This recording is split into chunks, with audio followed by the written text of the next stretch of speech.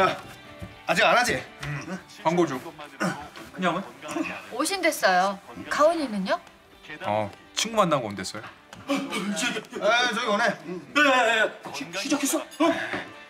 빨리 와 앉아.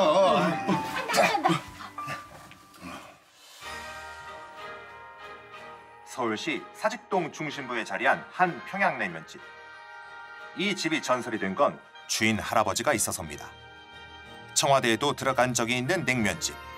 이미 오랜 시간 맛집으로 자리매김해 왔다고 하는데요.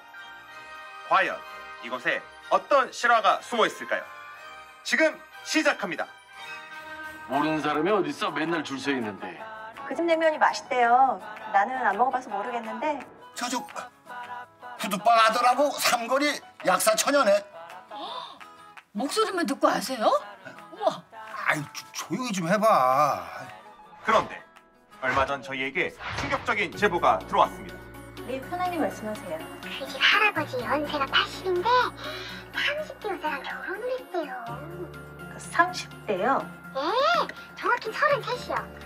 40대한테 유산 주기 싫어서 그랬잖아. 아니 저건 아니지. 그렇게 해명을 했는데도 아니 좀 조용히 해봐. 아들만 내신 할아버지가 유산을 물려주지 않으려 젊은 여자와 결혼을 했다. 흥미로운 얘기에 PD가 출동해봤습니다. 여기 사장님 젊은 여자랑 결혼했다는 소리 들어보셨어요? 30대라고. 네? 아니 여기 주인 할아버지가 나이가 몇인데? 아니, 전에 그 모르는 젊은 여자분이 냉면 나르는 거 봤는데 그 사람인가? 그 둘이 위장 결혼이라고 하던데.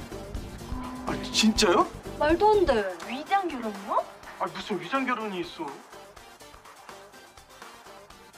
정확한 사연을 듣기 위해 냉면집에 찾아가 봤지만 문전박대를 당했습니다. 아, 왜 이러세요?